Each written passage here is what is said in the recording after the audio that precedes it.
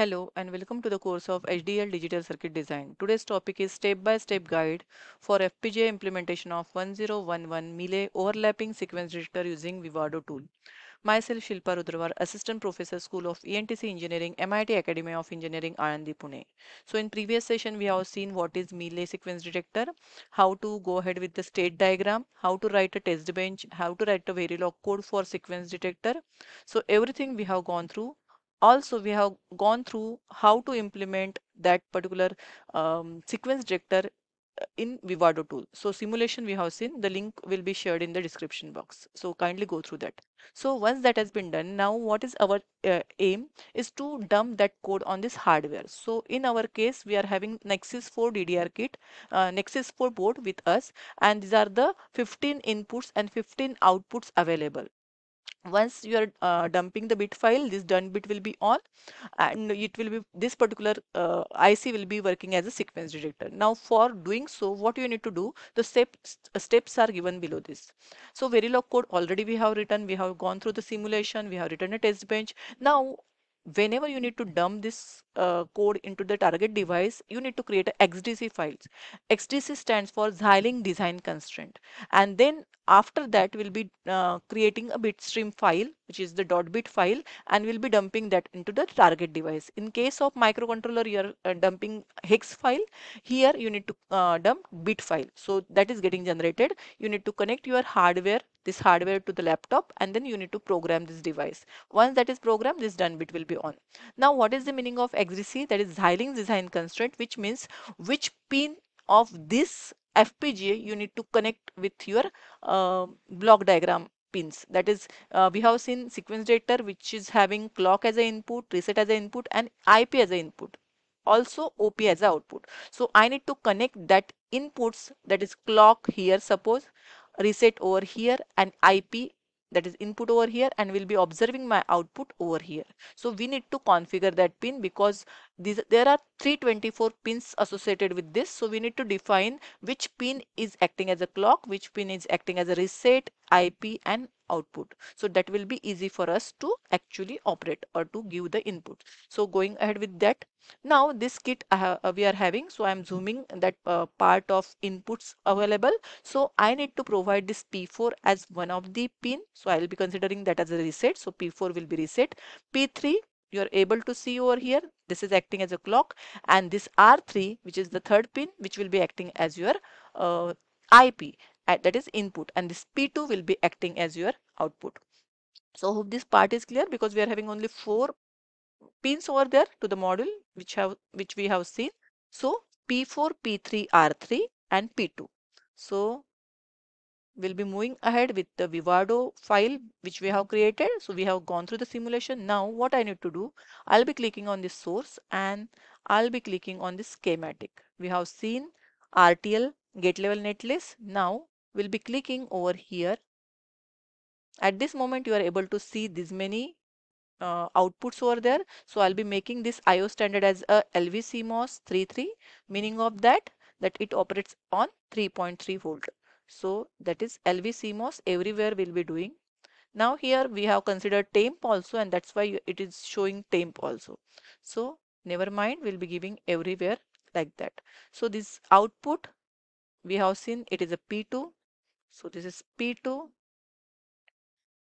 Reset, we are giving P4.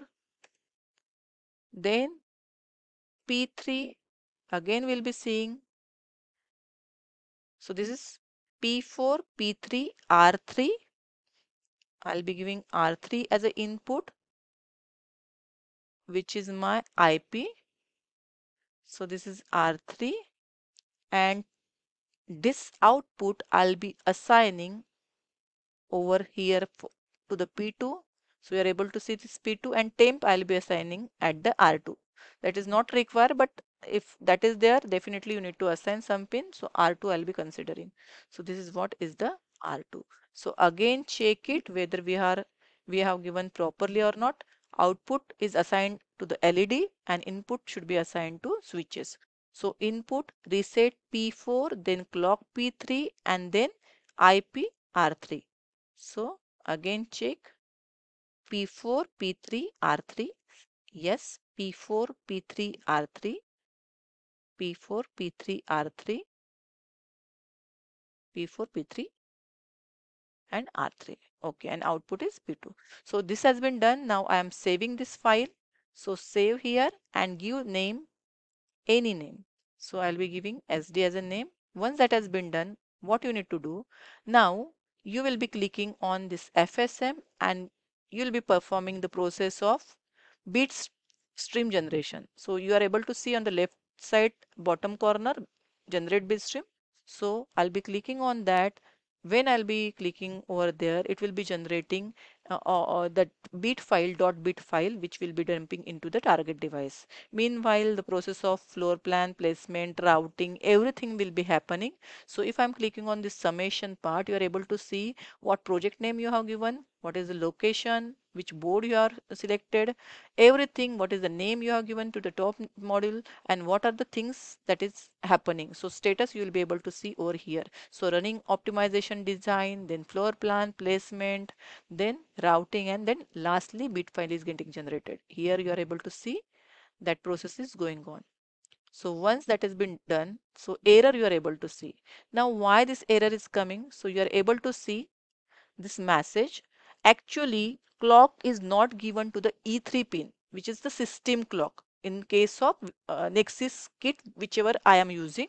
So that is we have not giving as given as a system clock we have given it as a manual clock because we have connected it to the switch and that's why this error is coming so what you need to do copy paste this error and this part this particular part of the message you need to copy and you need to paste it in the constraint file whichever you have created. So inside this constraint whatever file name sd which you have created so you are able to see it and now this particular line you'll be pasting over here and save it.